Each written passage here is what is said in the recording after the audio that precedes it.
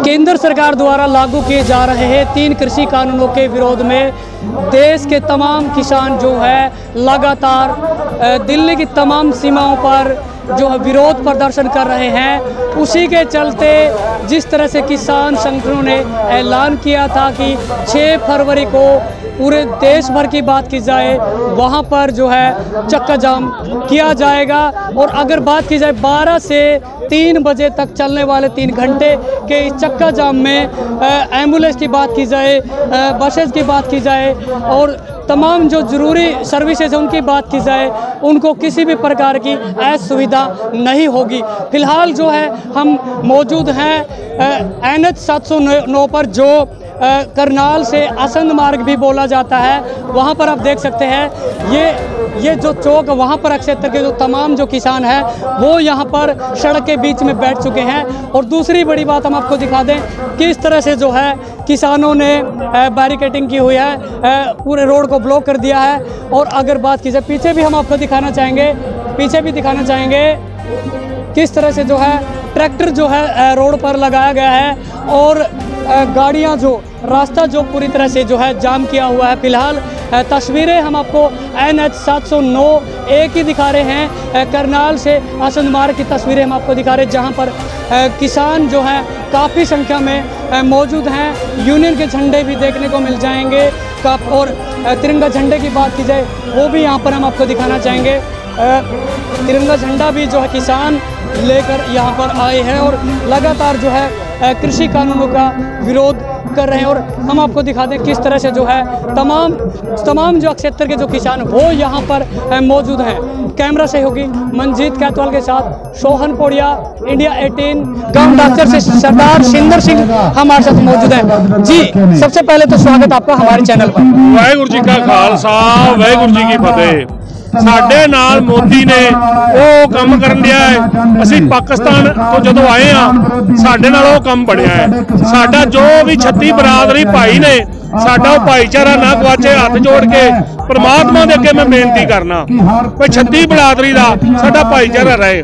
ਇਸ ਜਦ ਇਹ ਜਿਹੜਾ ਪ੍ਰੋਗਰਾਮ ਹੈ ਮੋਦੀ ਵਾਲਾ ਅਸੀਂ ਮੋਦੀ ਵਾਲੇ ਪ੍ਰੋਗਰਾਮ ਨੂੰ ਜਿੱਤਾਂਗੇ ਸਾਡਾ ਗੁਰੂ ਪ੍ਰਮਾਤਮਾ ਇਹ ਭਾਈਚਾਰਾ ਇਕੱਠਾ ਰੱਖੇ ਵਾਹਿਗੁਰੂ ਜੀ ਕਾ ਖਾਲਸਾ ਤੇ ਵਾਹਿਗੁਰੂ ਜੀ ਕੀ ਫਤਿਹ किसान आंदोलन करीब ढाई महीने से चल रहा है और सरकार जो है मनमानी करती हुई नजर आ रही है बार बार जो है इंटरनेट भी बंद कर कर देती है सरकार क्या कहेंगे ये जो डिजिटल इंडिया का नारा प्रधानमंत्री जी ने दिया था आप देख रहे हैं कि 10-12 दिन से जो इंटरनेट बंद हुआ है, जो पढ़ाई बच्चों की खराब हो रही है, जो भी सिस्टम बैंकों का और भी सारा नेट से चलता था, वो खुद ही प्रधानमंत्री नारा देते हैं कि हम डिजिटल इंडिया बनाना चाहते हैं। जब उनके खिलाफ कोई आवाज़ उठने लगती है तो ये नेट को बंद कर देते हैं। ये बहुत ही निंदनीय है और देश का इसमें बहुत ज़्यादा नुकसान हो रहा होता है। ये तो एक अपने लिए एक चीज़ बना के रख ली सरकार ने कि जब फ़ायदा हो तो उसको यूज़ कर लो। जब उस पे सरकार का नुकसान होता है तो उसको बंद कर लो ये नहीं होना चाहिए। ये बिल्कुल भी देश विरोधी है। जो देश विरोधी लोगों को कह रहे हैं ये सरकार ही देश विरोधी हुई है। जो अपनी मर्ज़ी से जब नेट बंद कर ले हमारे साथ करनाल से किसान एकता मोर्चा के जो जिला प्रधान हैं जरनैल सिंह हमारे साथ मौजूद है। सर क्या कुछ कहना चाहेंगे? आज देशव्यापी जो है चक्का जाम रखा है और दूसरी बड़ी बात सरकार किलेबंदी कर रही है कंटिली जो तार है वो और बैरिकेटिंग कर रही है क्या कहेंगे? सबसे पहले तो मैं अपने किसान अन्नदाता की तरफ़ से सभी को हाथ जोड़कर नमस्कार करता हूँ। ये किलेबंदी और ये मोर्चेबंदी तो नहीं चलेगी। सरकार की तानाशाही नहीं चलेगी। जब तक ये तीनों काले कानून वापस नहीं लेगा नरेंद्र मोदी, जब तक ये जनता सड़कों से नहीं हटेगी। अन्नदाता और मजदूर सब संगठन एक हो चुके हैं और इसमें ये कानून वापस लेने पड़ेंगे। ढाई महीने से किसान इतना परेशान है ठंड में। इन पर लाठी चार्जें भी हुई, इन पर पानी की बौछारें भी हुई, लेकिन ये किसान तो नहीं झुका। मोदी ने झुकना पड़ेगा, बस इससे ज़्यादा मैं कुछ नहीं कृषि कानूनों का पूरे देश भर में किसान विरोध कर रहे हैं, लेकिन सरकार काले कानूनों को रद्द नहीं करने की जिद पर अड़ी हुई है।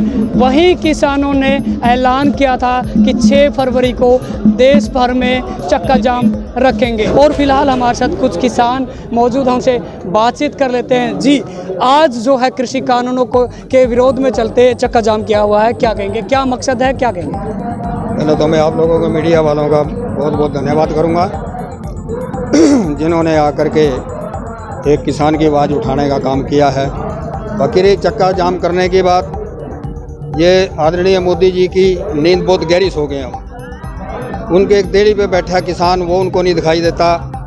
और अभी पिछले तीन चार दिन पहले जींद के अंदर किसानों का एक बहुत बड़ा जत्था मतलब पंचायत हुई है महापंचायत, वो भी उसको दिखाई नहीं पड़ी। उसके बाद किसानों ने फिर ये चक्का जाम करने का फैसला लिया है। तो क्या अब ये- क्या मैसेज क्या देंगे? मैसेज हम ये देंगे कि जो आपने हमारे ऊपर कड़े कानून लागू किए हैं इनको ख़त्म करो इनको रद्द किया जाए और जो एमएसपी का रेट का कानून है वो लिखित रूप में दिया जाए।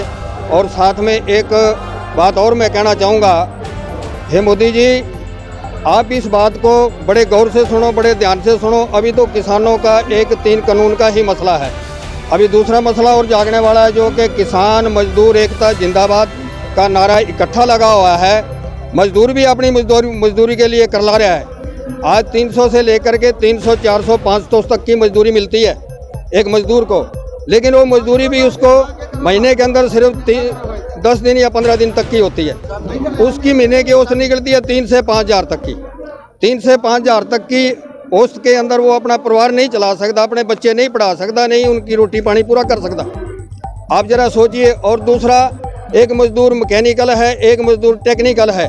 मैकेनिकल जो कि मकानों के गेट वगैरह या और ऐसे लोहे के काम करते हैं और टेक्निकल वो जो चढ़ाई का या और नाले बनाने ऐसा काम करते हैं, वो टेक्निकल मिस्त्री उनकी भी 500 से लेकर के 700 तक की मजदूरी है।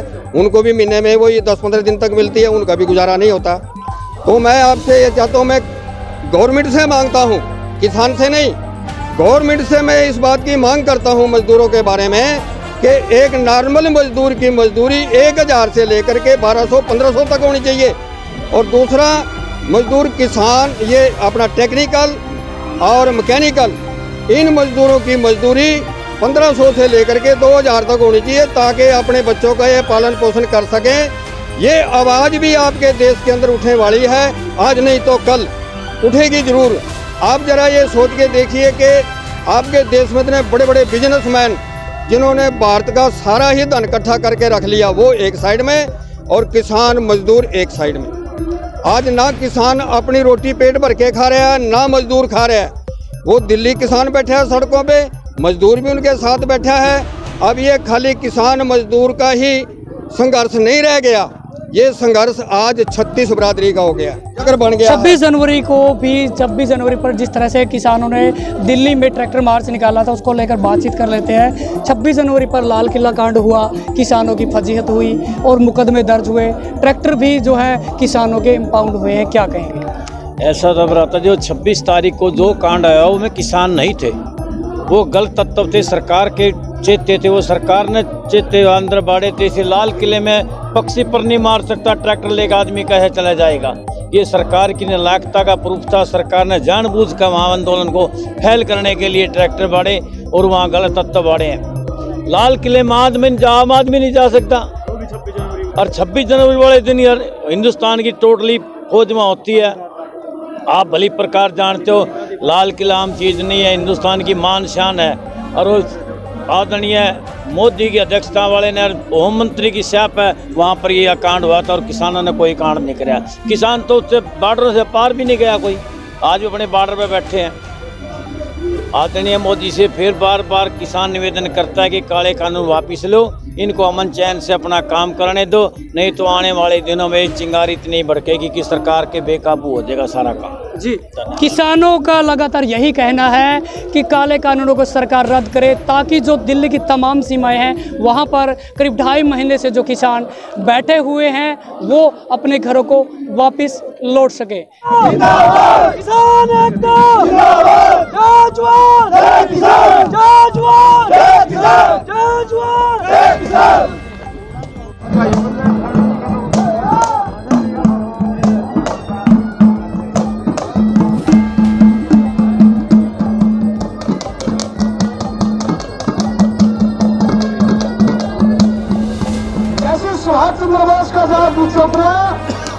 हम नीचे का सुभाष चंद्र बोस ने धरतिया पाता रहा था हिटलर ने कोई भर ली जैसे कृष्ण सुदामा की जोड़ी थी ऐसे ही जैसे कृष्ण सुदामा की कोड़ी भर ली थी ये उस हिटलर में सुभाष चंद्र की कोड़ी भर